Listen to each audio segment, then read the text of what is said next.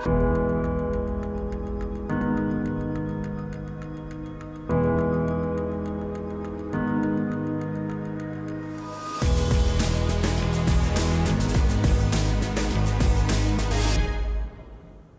back. In this segment, we're going to talk more about application. Specifically, how do you apply whatever truth you're preaching about to the individual people through a philosophy or a mechanism we call the fallen condition focus. Recently, this philosophy and mechanism has been made popular by a guy by the name of Bryan Chapell, as a relatively well-known preacher and author. And he says that when you are applying the scripture to people, you always want to ask yourself, what is the condition of the people that are hearing this that makes this scripture applicable to their lives? In other words, what problem does this passage solve? So, going back to our example with Acts chapter 1, the reason why Jesus would tell them to be his witnesses to all different peoples, even peoples that they would label their enemies, is because Jesus knows the propensity of humans is to not reach out to those that you may think are your enemy. You see, Jesus knows the fallen nature of humanity, the fallen condition of humanity is the, the propensity to want to stay with people that are like us and to ostracize or alienate those that are your enemy or those that are different than yourself or your particular group of people. Jesus knows this is the condition of humanity. It is a part of our fallen condition. And therefore, you want to take a moment and focus on that. You want to ask yourself the question why was this passage necessary in the first place? How does this transcendent truth apply to our contemporary context in terms of fixing whatever problem we may be facing. We want to ask ourselves what problem is the author addressing with this particular passage of Scripture? And what do we today have in common with the audience that this passage was written to? Let me give you another example. In Luke chapter 15, Jesus tells the story about the lost son. He tells these, these multiple parables, but the third parable, the, the most profound one, is the one of this son. Certainly, you know the story, you're probably very familiar. We frequently call this the prodigal son. This son who runs away and then comes back.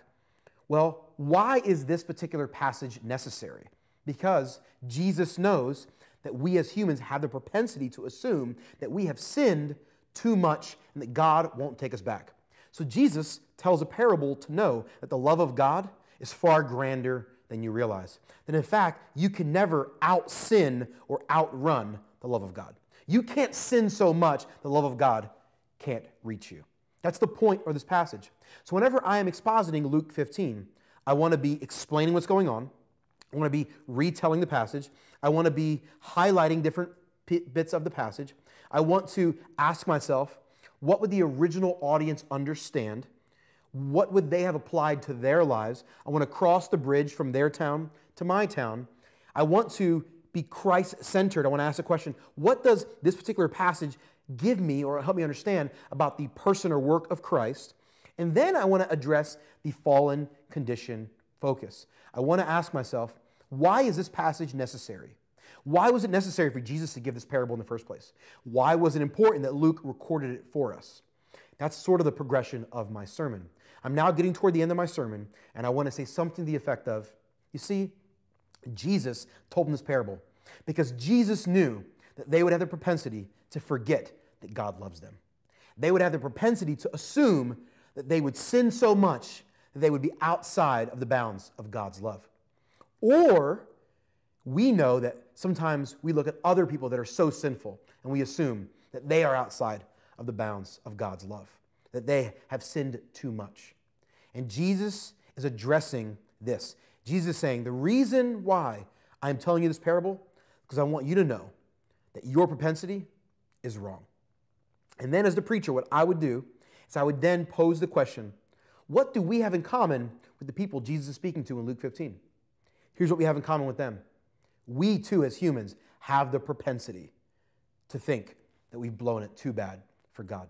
We too, as humans, have the propensity to believe that we have sinned too much. We as humans have the propensity and the inclination to forget that God loves us.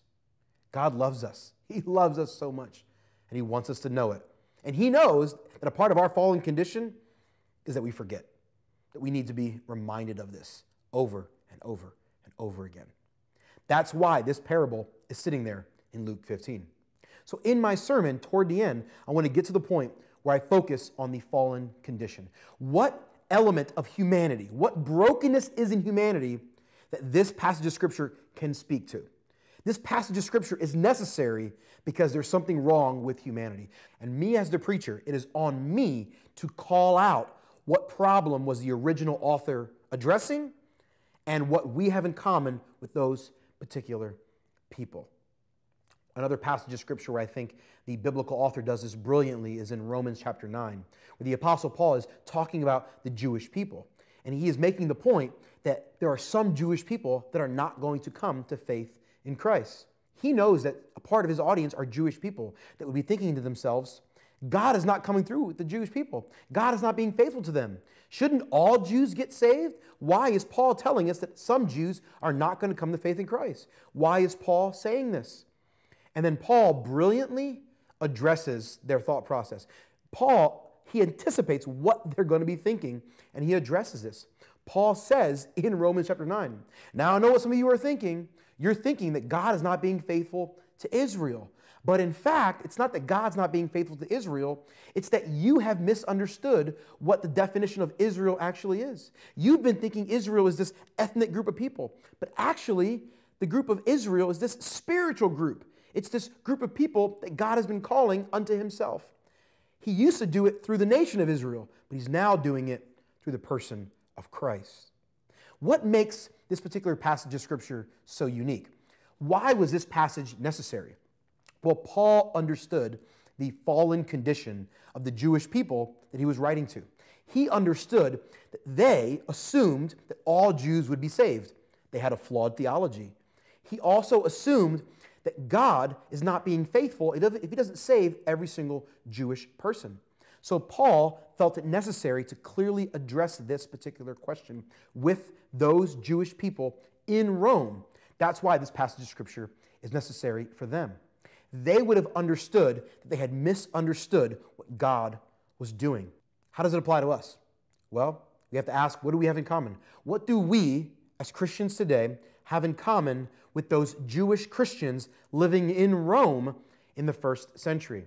Well, they had the propensity to misunderstand what God was doing, and therefore, when things didn't go the way they thought it would go, they would get angry with God. Paul is addressing that we as well have the propensity sometimes to misunderstand what God is doing. And therefore, when things don't go the way we thought they should go or the way that we had hoped they would go, we have a propensity as well to get angry with God. You see, what Paul is doing in Romans chapter 9 is addressing the fact that they're going to get angry with God, not because God has failed them, but because they have misunderstood God. In the same way, we have a propensity to get angry with God, and it's not because God is wrong, and it's not because God is not being faithful, it is because we have misunderstood God. So if I'm preaching through Romans chapter 9, at some point in my sermon, I want to address the fallen condition nature. I want to address the fact that we as humans have the propensity to get angry with God because we have misunderstood God. And at this point in my sermon, I would pause and say to my audience, friends, if you are angry with God right now, it is because you have misunderstood the character and nature of God. Now, you may be hurt. You may be angry with God because something happened to you that, that you're hurt or angry about, that, that, something that devastated you or brought pain in your life. I want to tell you, God loves you. God was in the midst of that moment. God can bring healing to you. But, friends, if you're angry with God, it is not because God has failed you, it's because you have misunderstood who God is. See, this is a part of the fallen condition that Romans 9 is addressing over and over and over again, there are passages of scripture that are being written to address particular problems in a particular audience. In 1 Corinthians, Paul is writing to the church in Corinth to address all of the problems. We get to 1 Corinthians chapter 6, and he's telling the Corinthian church to not be sexually immoral, to not be perverted, to be holy in the way they engage with sexual activity, and to be holy in the way they engage with, with matters related to sex. To be, to be holy in matters related to marriage, he talks about in 1 Corinthians 7. Why is he saying this? Because he knows that the Corinthian church had the propensity the inclination to not be holy in, in, in relation to things related to sex and marriage and relationships.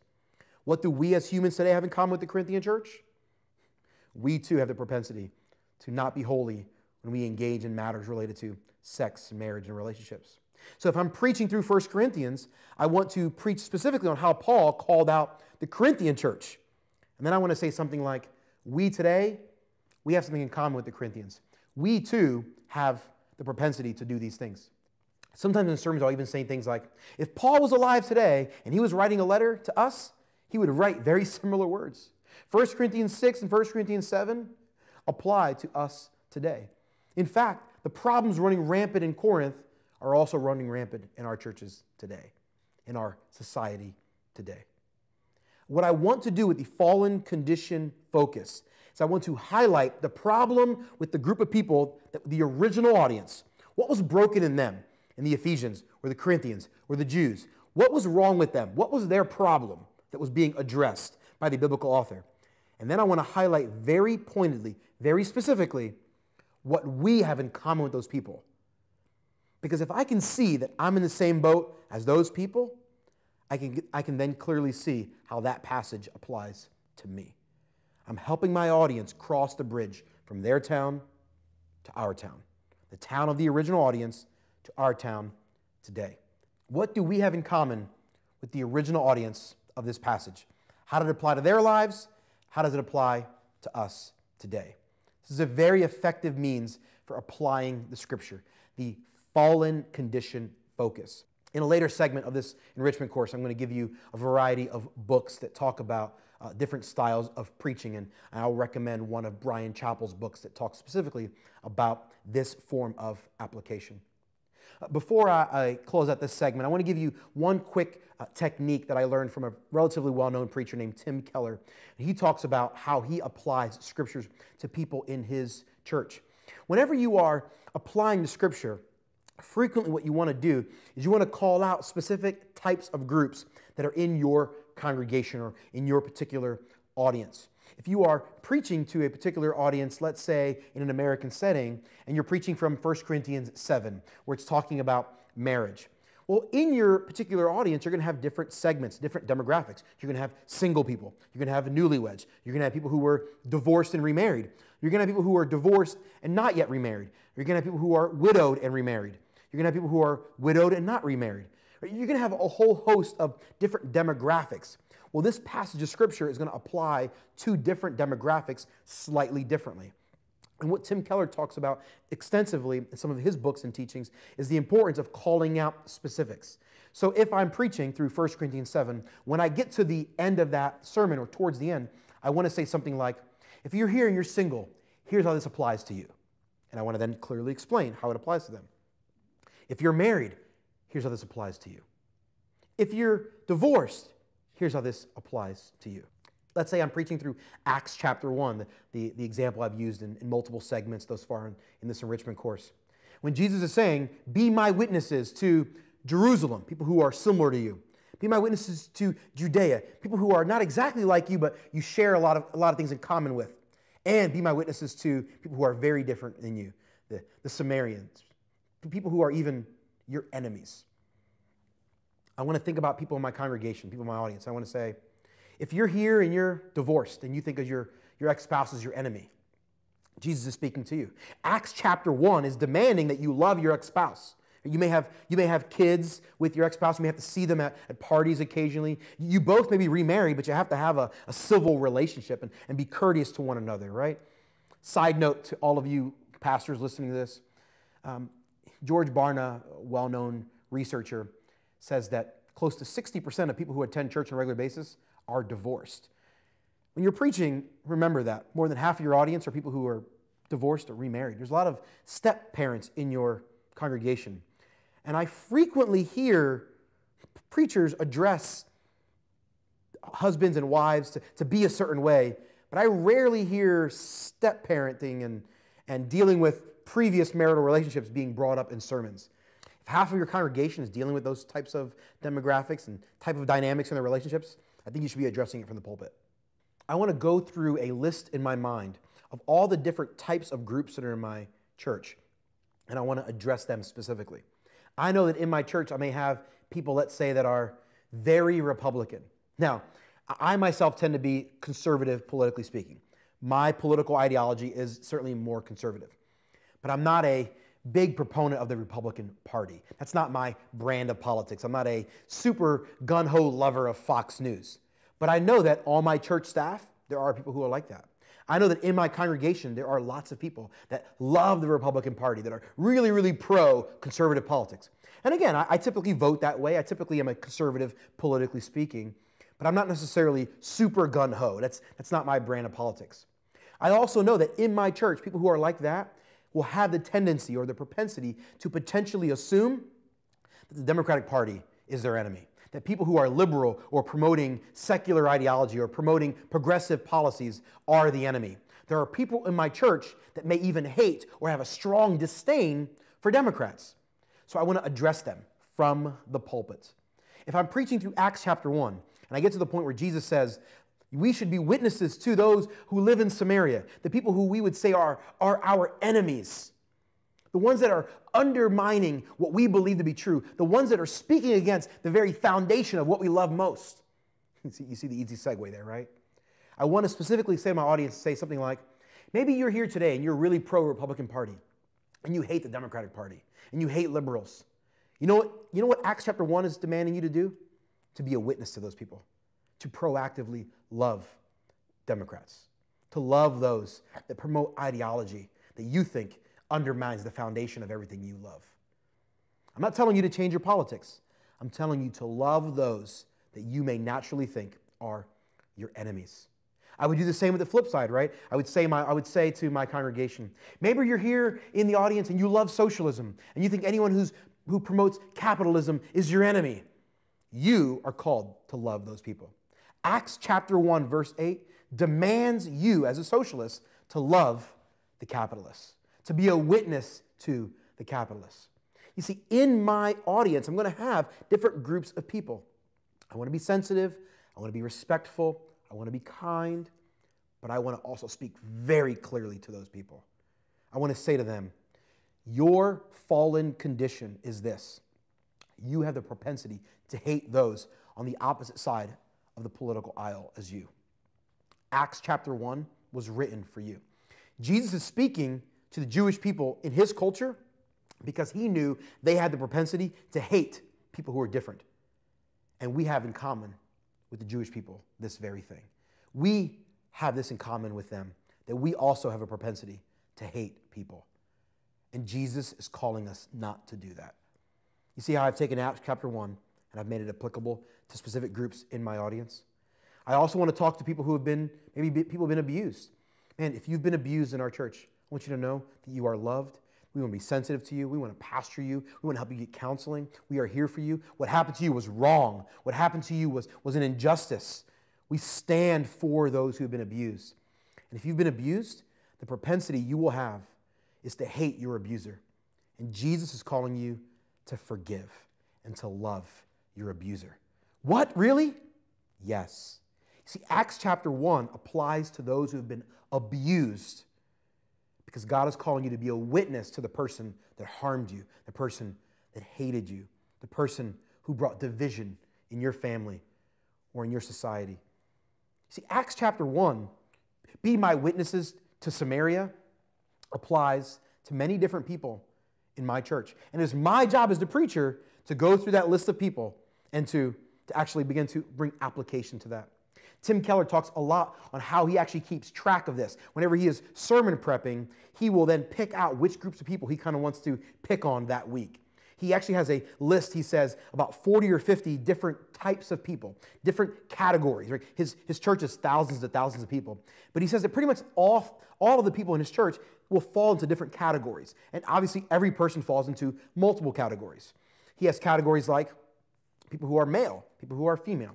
He has categories like Republican, Democrat. He has categories like affluent and people who live in poverty. So, this list of people that he keeps track of, he says these, these are all the different types of people that I might address in a particular sermon. And he says, when I'm sermon prepping, what I'll do is I'll ask the Lord, which groups of people does this particular passage maybe apply to the most?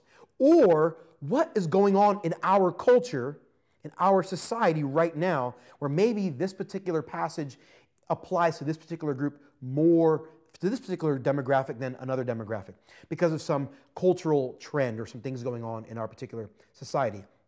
And what Tim Keller does, he actually keeps track. He says, okay, this week I talked to these 10 groups. Again, he keeps track. And he makes sure that every four or five weeks, every demographic is being specifically mentioned in his sermons. Some demographics are being mentioned every single week. He, he says one of the groups he typically picks on the most is husbands, because he believes the Bible talks extensively to men and the way they ought to be great husbands. And so, very few sermons don't mention how this passage applies to husbands. Some groups maybe don't get picked on nearly as frequently as other groups. But he makes sure that every four or five weeks, every single group is being mentioned at least once. And most of those groups are being mentioned multiple times. He keeps track of that because he wants to make sure that he's not accidentally picking on some groups more than others or that he's not leaving out some demographic. So literally, he just keeps track of this. He has a, an Excel spreadsheet on his computer where he keeps track of all the different types of groups that are in his church and he keeps track of how frequently he has mentioned them in sermons. And if he realizes, you know, there's a particular group that maybe I've mentioned four or five weeks in a row, maybe I'll lay off of them for two or three weeks. I, I won't mention them for a few weeks, unless there's a passage of scripture that we're going through that really, really demands it. Maybe I'll lay off of this group for a little bit. He will kind of keep track of this as a means to, to make sure that he is pastoring his entire group. Whenever you are going through a particular passage of scripture, you're seeking to apply this passage of scripture, you want to ask yourself, which group does this passage apply to most? Which group do I need to kind of pick on the most to some extent? And ask yourself, which group maybe I haven't hit on the most? You want to make sure that you speak to that. The last thing you want to really ask yourself when you are thinking about application is you want to ask yourself this question Is there anything I need to speak prophetically about? Now, when I say prophetically, I don't mean foretelling the future. I think in our culture we misunderstand prophecy. Most of the time in the Old Testament, when the prophets were getting up and preaching, when the prophets were admonishing the people, they were actually rarely foretelling of future events. What they were most frequently doing was calling the people to repentance. Prophets like Amos were getting up and saying, You have sinned in this way. Stop sinning. Repent. When Jonah walks into Nineveh, he is saying, Repent of your sin, of your wickedness. If not, God will bring judgment. That's what the prophets of old did. So you, as a preacher, need to ask yourself is there anything I need to do prophetically? Meaning, is there anything in this passage of Scripture that demands that I speak prophetically about something going on in my culture? Some passages of Scripture, this is really, really obvious. If I'm going through the book of Amos and I get to Amos chapter 5, when Amos says, I'm paraphrasing, God doesn't want to hear your worship if you're not taking care of those who are hurting and in need among you. If you're not taking care of those who have been ostracized and alienated in society, if you're being unjust, if, if social justice is not a part of your Christianity, of your religious life, God doesn't care about how much you worship Him on Sunday mornings. That's what the prophet Amos is saying there in Amos chapter 5. That obvious is an easy one, right? That, that one's sort of a layup. Sometimes it's not so obvious. There are other moments where you kind of wrestle should I say this? Let's say, for example, you're going through the Gospels and you come to the point where John the Baptist has been imprisoned for speaking out against the king of his particular people group. And as you're expositing, you're applying this, you have to kind of take a, a quick little side note when you're going through this particular passage of Scripture. Because you have to highlight that John the Baptist was arrested and eventually beheaded because he basically said who should or should not get married. He was speaking to the king saying, You are choosing to marry this person, but you are actually wrong and being wicked and being sinful in choosing to marry this person.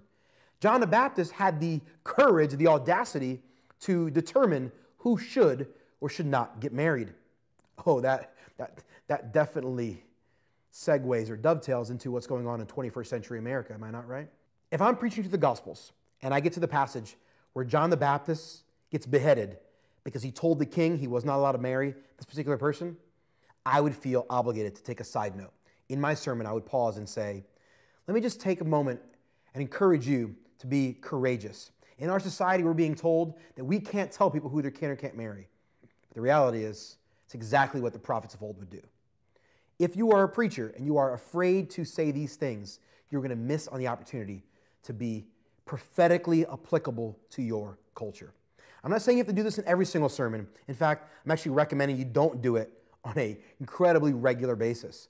But there are moments where you absolutely need to speak prophetically to the groups of people in your church. Call them to be courageous. Call them to repent. Admonish them to do what the prophets of old did.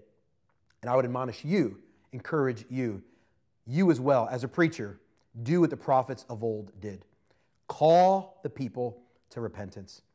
Whenever you are seeking to apply a particular passage of Scripture, you have to ask yourself is there anything in this passage that I can utilize to speak prophetically about things going on in my culture or in my particular society? I think that'll be a really helpful way to be applicable. If you're going to be a great impact preacher, you have to be fiercely committed to effective application. In the next segment, we're going to talk about utilizing helpful supplementary materials in your sermons.